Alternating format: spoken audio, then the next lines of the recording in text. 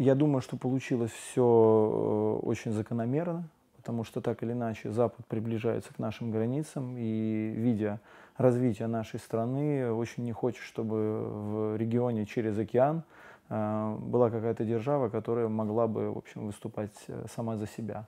Соответственно, кризис в любом случае на той или иной границе бы случился. И мне кажется, вопреки тому, что многие люди искренне считают, что Крым стал причиной вот этого сильного противостояния, мне кажется, что э, если бы не Крым, если бы мы смогли бы заглянуть в какую-то альтернативную историю времени, то мы бы увидели не Крым, а какой-нибудь сбитый самолет, э, не знаю, какую-нибудь акцию или еще чего-то, которая так или иначе привела бы, опять же, к этому же кризису. Поэтому сталкивание лбами двух народов происходит уже не первый год – и я думаю, даже не первое столетие. А, и мы наблюдаем просто новый виток истории. А, как быть, э, и когда это все закончится, наверное, ну, хочешь рассказать, э, хочешь рассмешить Бога, расскажи Богу свои планы. А, но, тем не менее, очень хочется надеяться, что в течение этого года так или иначе произойдет какое-то событие, которое станет ключевым, и агрессивная политика Запада против России закончится, вот, и очень хочется, чтобы им как-то по голове что-то очень серьезно стукнуло.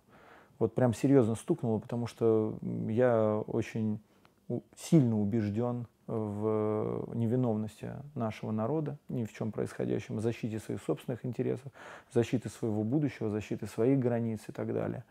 И, в общем, понимая, что мы сейчас обороняемся, а не нападаем. А, и хочется, чтобы все-таки люди так или иначе осознали, и вот в течение именно этого года, э, в общем, не растягивая это на там, 3, 5, 10 лет, неважно. А, ну, как быть простым людям? Ну, оставаться людьми. Э, и ни в коем случае не путать э, политику и простую жизнь. Потому что когда я, например, слушаю какой-то гнев со стороны людей как россиянин, я перестаю понимать, как такое вообще возможно. Как возможно меня ругать за то, что я ничего не делал. И восприятие вот этих обобщений по национальному признаку – это самое страшное, что может произойти. Вот каждый отдельно взятый человек должен думать. Думать своей собственной головой и понимать, что, в общем, мы становимся инструментом в чьих-то руках. И в такую эпоху нельзя становиться животным, нельзя становиться скотиной, нельзя становиться зверем, а, который делает и не ведает, что творит. Это, это самое важное. Ну и, естественно, любой человек будет защищать свой собственный интерес, свою собственную семью, так или иначе.